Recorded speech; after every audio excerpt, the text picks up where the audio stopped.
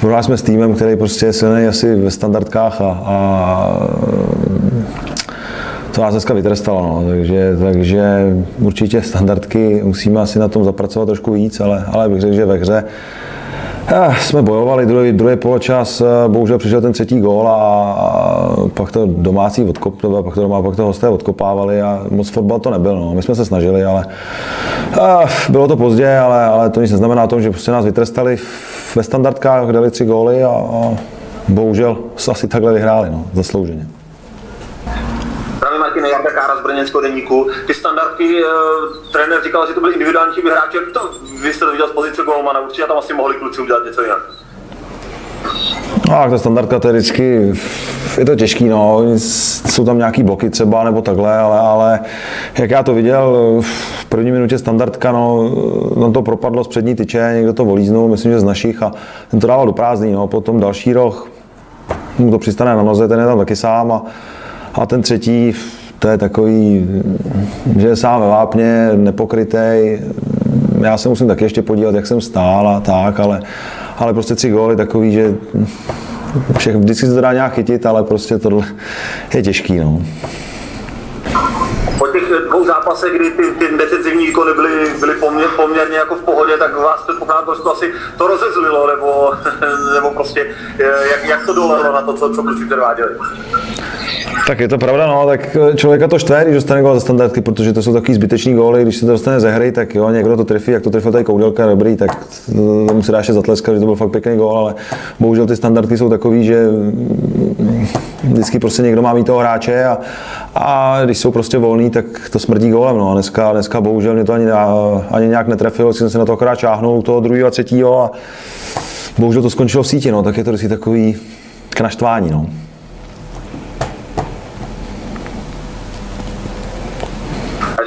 Ty, ty změny vynucené v, v obraně, eh, samozřejmě s tím, s tím nic jako neuděláte, ale je to, je to asi velký zásah do toho týmu, do nějaké komunikace, jak, jak se sehráváte.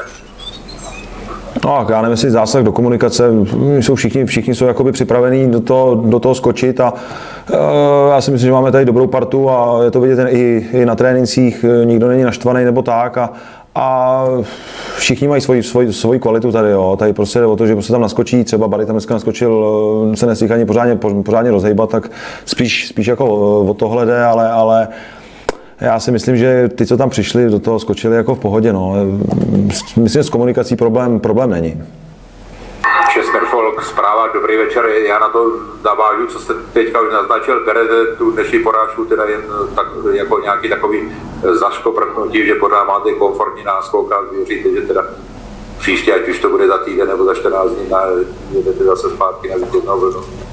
Jo, tak, eh, tak jsou dvě cesty. No. Buď se v tom tady budeme patlat a, a eh, budeme čekat na, na, další zápas, všichni, všichni, všichni na sebe budeme řvát a všechno, co tady budujeme, vlastně celý, celý podzim od, od začátku sezóny bude v koporu, tak to je jedna možnost, to asi nikdo nechce a potom, potom je ta druhá, že to prostě hodí za hlavu, zapomene se na nějakou líšeň a, a, a prostě byl to se další zápas, který jsme bohužel prohráli doma. Eh, doma by se to stávat nemělo, ale stalo se to a že to byla líšeň zrovna, no, tak to byla líšeň, no, ono to asi někoho to, chápu, že fanoušky, že je to asi štve, nás to taky štve, my prohrát nechceme, ale zvlášť ještě zdíšní, jasně, když je to, když je to vlastně celek z Brna, ale, ale asi to se tak stane někdy, no. tenhle zápas prostě nám nevyšel uh, víceméně jedno jak, jestli jsme prohráli nějakou kombinací nebo standardkama, je to fuk, prostě jsme prohráli, a, ale myslím si, že kazit si nějakou tady náladu, uh, jak máme ty body eh, nazbíraný, tak by byla hloupost a, a my prostě musíme jít dál a hodit to za hlavu. To jsou prostě zápasy, které se, které se někdy stanou a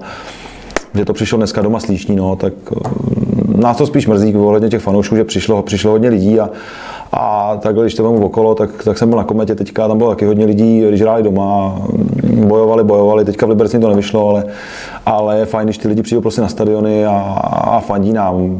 Jenom prostě říkám, je škoda, jsme to dneska nezvládli proti té líšně, protože jsme se na ten zápas hodně, hodně těšili. No. Počochář z Mladé fronty, dobrý večer. Já jsem se chtěl zeptat, co z tohohle zápasu si teda hlavní můžete odnést do budoucna? Dnes asi ne, že bodový náskok je znač, eh, značný, tak eh, co z toho vás může vlastně posunout? A, tak posunout. To... My nesmíme začínat ty zápasy tak, jak jsme dneska začali. jsme měli výkop, to bylo hezký sice, ale, ale vlastně se to promítlo do toho, že, že jsme vlastně dostali gol. Takže musíme zapracovat na těch, na těch začátcích asi, no, aby jsme se do toho rychle, rychle vlítli a, a potom říkám, ta, ta první půle byla, byla taková divoká ohledně těch standardek a, a potom ty zranění taky, to tomu nepomohlo. No ale druhá půle si myslím, že byla, že byla lepší. Eh, snažili jsme se to dávat všechno nahoru, eh, přišel, přišel i gól, ale, ale eh, na můj vkus těch šancí bylo, bylo málo, prostě no, ta líšeň byla zaleslá prostě to odkopávali. Je to potom těžké se dostávat do té do pevné obrany. No.